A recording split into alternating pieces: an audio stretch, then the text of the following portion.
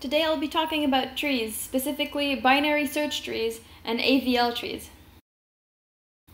In computer science, graphs are a data structure made of nodes and edges, not one of those things you make through Excel.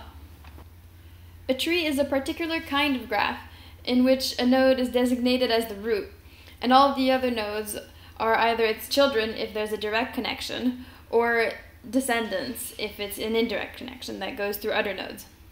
A node can only have one parent, and if it doesn't have any, then it means that it's the root. The main characteristic of trees is that they have no cycles, which means that there's always no more than one way to reach a node from any other node. If a node doesn't have any children, we call it a leaf. Binary trees are a specific kind of tree in which each node can have at most two children. You could represent a graph as node objects, which have references to other node objects. But there's a really nice way to store it as an array as well. I'll show you how it goes if you have a binary tree. You're basically assigning a number to each node in the tree, going layer by layer, left to right, and using that as the index of where you store that element in the array. From any given node, you can take its index and multiply it by 2 and then add 1 to get its left child, or add 2 to get its right child. This works because it's a binary tree and the number of possible nodes on each successive layer doubles every time. If it was a tree which allowed a bigger number of children per node, then you'd multiply it by the maximum number of children.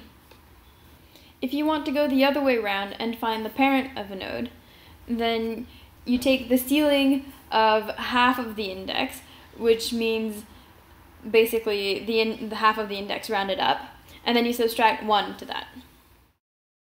A binary search tree is a binary tree that follows this rule.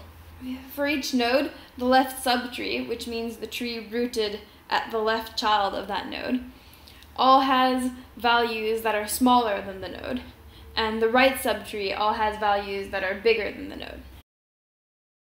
This means you can look for specific items in your tree without having to look through all the items that are there. Sound familiar?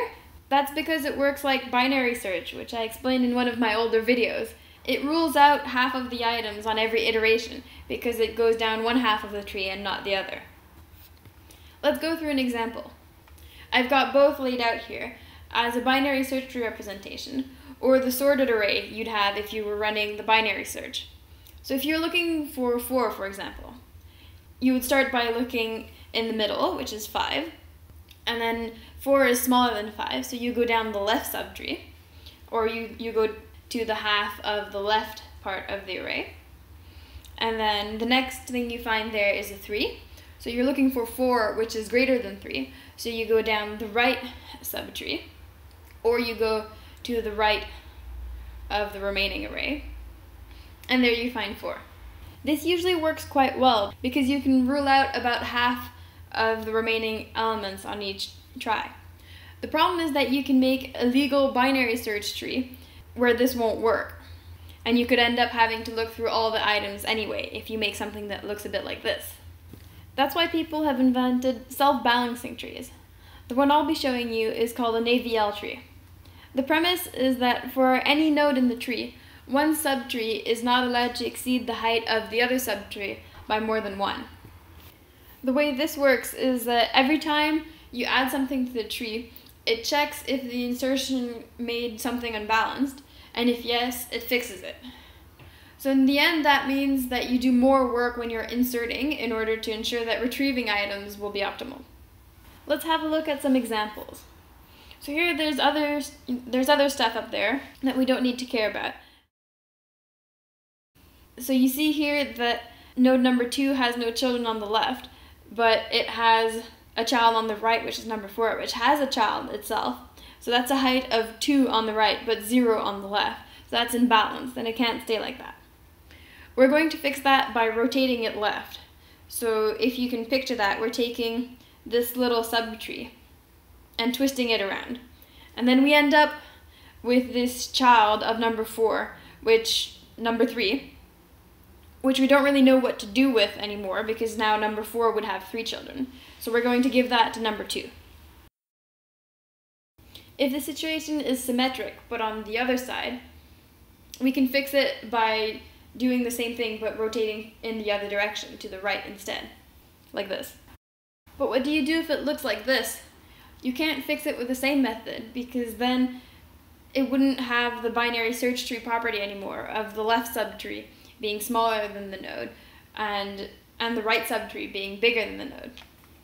With something like this, you'd have to rotate twice once in one direction on the subtree, and then back on the node that was originally unbalanced.